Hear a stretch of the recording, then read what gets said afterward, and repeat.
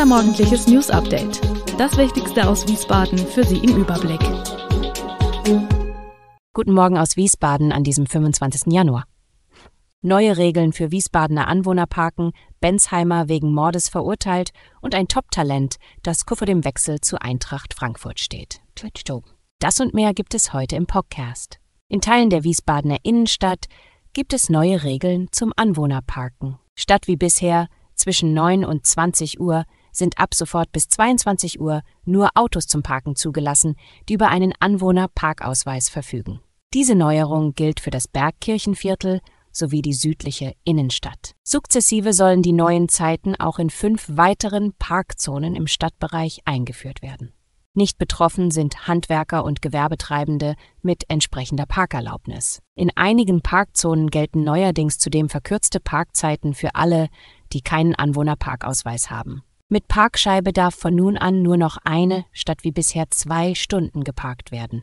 Die kommunale Verkehrspolizei soll die Einhaltung der neuen Regelung nach einer Eingewöhnungszeit verstärkt kontrollieren. Dazu sind auch Schwerpunktkontrollen in den Abendstunden vorgesehen. Ministerpräsident Boris Rhein, CDU von Hessen, stellte in einer Regierungserklärung die Ziele seiner schwarz-roten Koalition vor.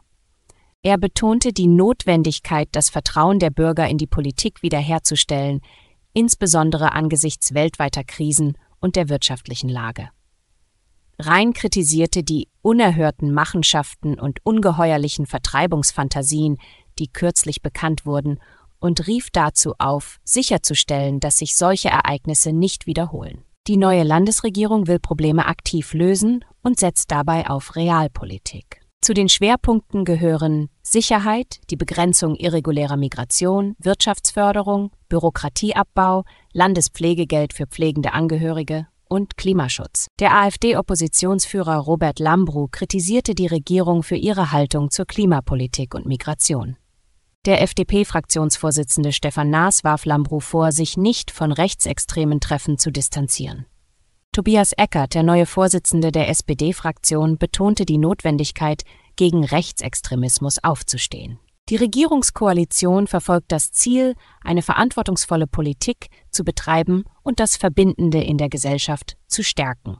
Der Grünen Fraktionsvorsitzende Matthias Wagner rief zu einem gemeinsamen Antrag auf, um ein breites gesellschaftliches Bündnis für die Demokratie zu fördern.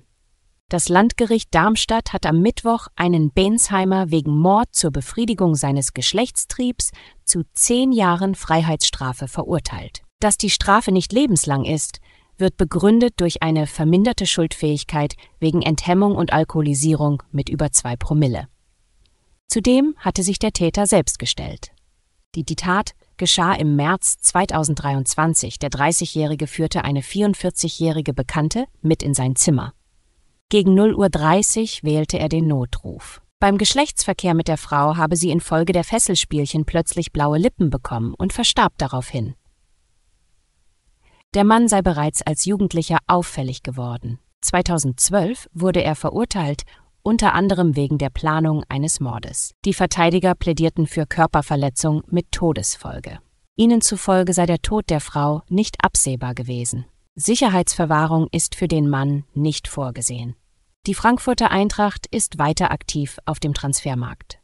Mit dem nahenden Ende des Transferfensters in sieben Tagen hat die SGE nun bereits mehrere Verträge mit vielversprechenden jungen Talenten abgeschlossen. Der 18 Jahre alte Christian Listes und der 20-jährige Nathaniel Brown stoßen im Sommer zum Team. Die Eintracht zeigt außerdem Interesse an Jean-Matteo Bahoya, ein 18-jähriger Flügelspieler vom französischen Zweitligisten SCO Anger, der bis zu 10 Millionen Euro kosten könnte.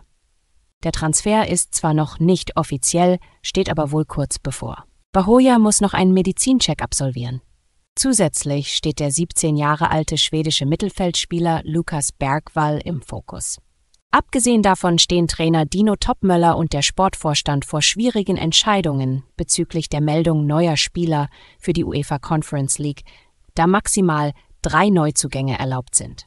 Mit Donny van de Beek und Sasa Kalajdzic sind zwei Plätze bereits besetzt. Dies könnte die Einsatzmöglichkeiten weiterer Spieler einschränken, was die Mannschaftstiefe beeinflussen würde.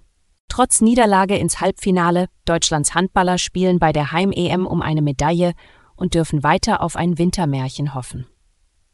Das Team von Bundestrainer Alfred Gislason kassierte am Mittwochabend zum Abschluss der Hauptrunde gegen Kroatien allerdings eine ernüchternde 24 zu 30 Pleite und versäumte es, sich weiteres Selbstvertrauen für den Halbfinalkracher gegen Weltmeister und Topfavorit Dänemark zu holen. Das andere Vorschlussrundenspiel bestreiten am Freitag Olympiasieger Frankreich und Titelverteidiger Schweden. Vor fast 20.000 Fans in der erneut ausverkauften Kölner Lanxess Arena waren Sebastian Heimann und Johannes Goller mit je vier Toren beste Werfer für die DHB-Auswahl, die letztmals vor fünf Jahren bei der Heim-WM im Halbfinale eines großen Turniers stand. Damals ging die deutsche Mannschaft, die sich durch den Teilerfolg das Ticket für die WM 2025 sicherte, als Vierter leer aus. Alle Infos zu diesen Themen und noch viel mehr finden Sie stets aktuell auf www.wiesbadener-kurier.de. Gude Wiesbaden ist eine Produktion der VRM von Allgemeiner Zeitung, Wiesbadener Kurier, Echo Online und Mittelhessen.de. Redaktion und Produktion die NewsmanagerInnen der VRM. Ihr erreicht uns per Mail an audio.vrm.de.